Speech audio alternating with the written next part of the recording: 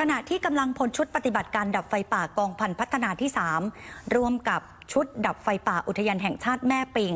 และมีผู้นำชุมชนรวมถึงประชาชนจิตอาสาในพื้นที่ ออกเดินเท้า ลาดตระเวนป้องกันและแก้ไขปัญหาไฟป่าและหมอกควัน และฝุ่น PM 2.5 ในพื้นที่บ้านก้อหนองตำบลก้ออำเภอลี้จังหวัดลำพูนค่ะ เพื่อป้องกันการลักลอบเข้าไปหาของป่าล่าสัตว์ป่า แล้วก็จุดไฟเผาป่า ขณะเดียวกัน เจ้าหน้าที่เองก็ได้ไปพูดคุยสร้างความเข้าใจกับคนในชุมชน ที่อาศัยอยู่ใกล้กับเขตอุทยานแห่งชาติแม่ปิง เพื่อให้เกิดความตระหนักถึงพิษภัยของการเกิดไฟป่าทางนี้ก็เพื่อให้ประชาชนในพื้นที่ ร่วมกันเป็นเครือข่ายในการเฝ้าระวัง สอดส่องดูแลผืนป่าให้อยู่คู่กับชุมชนสืบไป